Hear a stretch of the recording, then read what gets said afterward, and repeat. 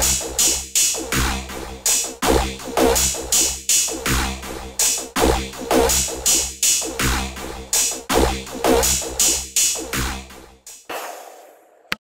guys, how's it going?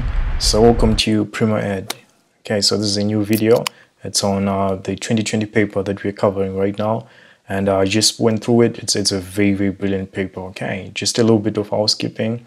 Um, you can text me on this number if you have any uh, specific questions okay? What you're trying to do is on weekends would actually answer uh, some of your questions there. So the questions can be anything um, to do with sciences. Uh, that's what we are catering for right now. We're not doing anything else. So if it's biology if it's physics if it's um, just mathematics it's still fine. You can send me uh, over. And then the more specific the question the more likely we'll feature the question in the next weekend or when we do our video okay so um, this was a very interesting paper. I just went through it and uh, let's just get right to it. So question 11, it uh, gives us this diagram. It's the female reproductive system. And then you're asked to um, uh, name where the, uh, so the to identify where fertilization takes place. Okay, so this is a very common diagram. One of the things that I always uh, advise my students is uh, it's always good to know what part uh, means what. The, you should be able to identify all the all the um, parts in the in the uh, reproductive system for females and also for males. Okay, so we're going to do that right now. So C, this one, it's um, is the is the uterus. Okay, so it's the uterus, and then D, this one's they call the fallopian tubes. So fallopian tubes. You have to double check the spelling. I'm not really good uh, with spellings uh, and um, this one is uh, they, they, they're called ovaries. So these are the ovaries. And you should also know uh, what part uh, you know you should also know the function of each uh, and every part there. So this this one is called cervix. So a it's actually uh, cervix. Most stud students they'll think that this is vagina but it's not. Uh, one way to think of it is uh, immediately after the uterus you'd get the cervix and then here you'd get the the vaginal opening so vagina. And uh, this cervix you should know it's uh, it's not an, an, opening. It's actually a tube. So on, on the female reproductive system you have uh, two openings there uh, excluding the, the anus because it's not part of the reproductive system. So the, the anus will be there and you also be having the vagina and you also be having the urethra. The urethra is for urine uh, the urethra is for urine, the vagina is for passage of uh, sperm into the uh, uterus, and also the, the anus is for, for defecation. Okay, so uh, that's, that's just about it uh, for uh, this part.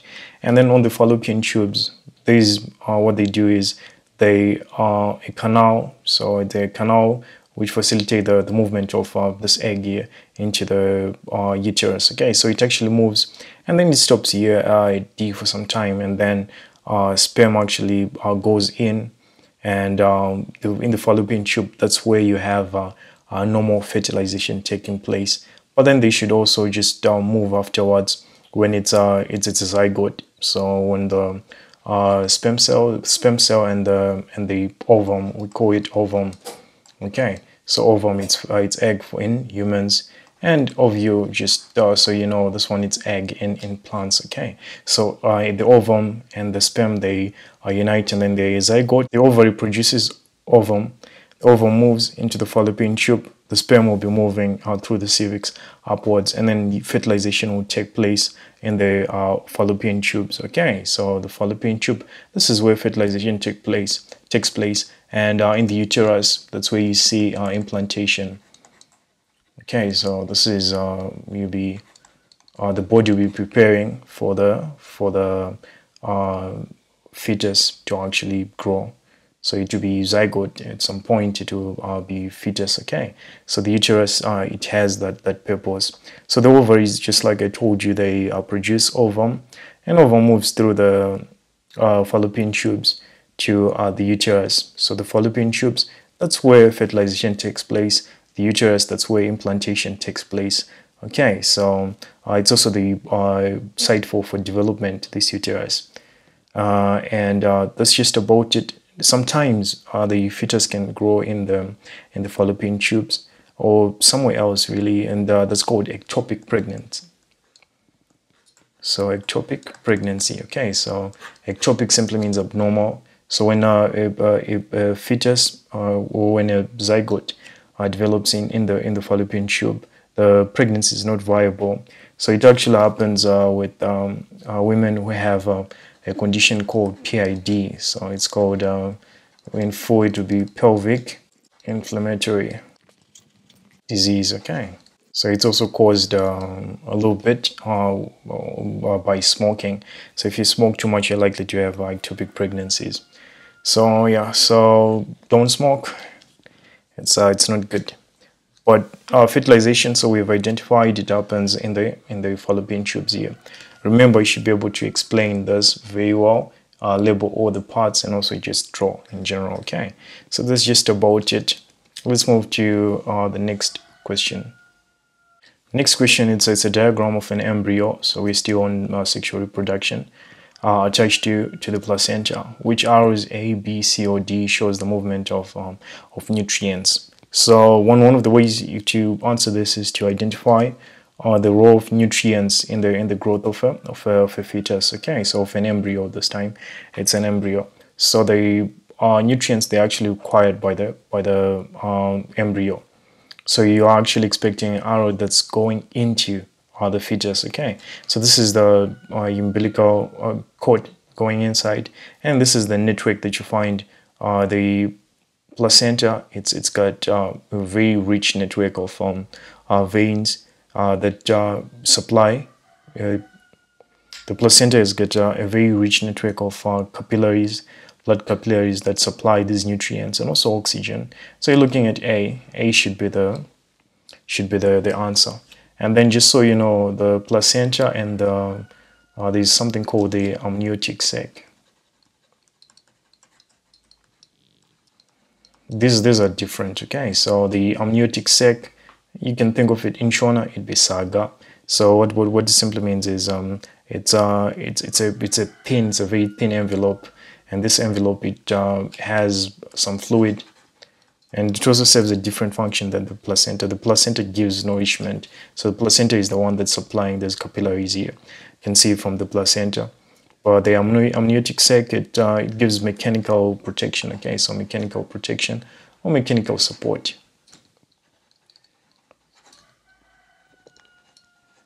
So the, the child will be able to grow, to breathe, and to, to move around, okay? So through this uh, amniotic sac and uh, the placenta, that's where you have nourishment.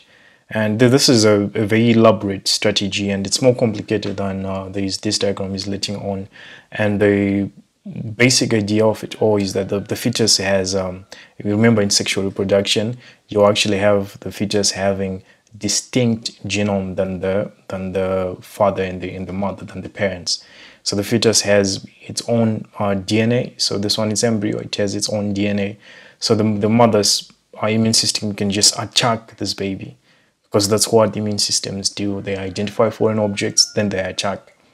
So placenta and the amniotic sac, they're part of an elaborate scheme by the body to actually uh, prepare or to actually make pregnancy viable without the mother attacking the, the, the embryo. Okay, so yeah, that's just about it. Let's see if we can move to question 13. Question 13 says, hormones that are found um, in contraceptive pills, they work by, okay, so in, a, in the contraceptive pill, uh, the contraceptive pill, by the way, it's called, uh, this one is called hormonal contraception.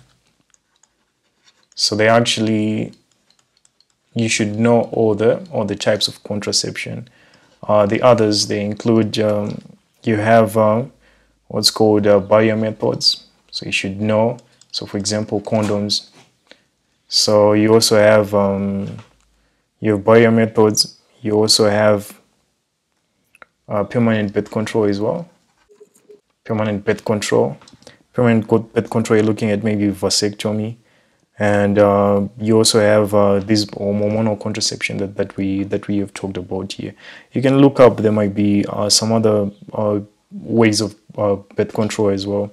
There is natural or rhythm. They call it rhythm method, where you study the your uh, a woman studies her own menstrual cycle so that she identifies when it's reasonably safe for her to have unprotected sex um, without, uh, you know, like a very high risk of pregnancy. Okay. So essentially, uh, birth control pills they thicken the, the mucus of uh, the cervix. Remember that opening that I told you, the tubular opening. That's the passage for, for sperm. So birth control pills, they, they uh, trigger the thickening of the mucus in the cervix so that sperm cannot cannot enter. Okay, so that's um, uh, that's one part. But then they also there's also another part. They actually suppress ovulation. Okay, so they prevent the the behavior, they prevent the maturing uh, of uh, the egg, killing sperm in the in the oviduct. Killing sperm uh, in the oviduct here. This so this one is different. You can look at um, uh, copper IUD. These are called uh, barrier methods. Okay, so you can have the diaphragm as well. So the uh, copper copper it's a, it's a it's a very uh, useful metal in that uh, it kills um, um, tiny living things. Okay, so even in hospitals right now, you have uh, hospitals, especially high profile ones, which are retrofitted with uh, copper.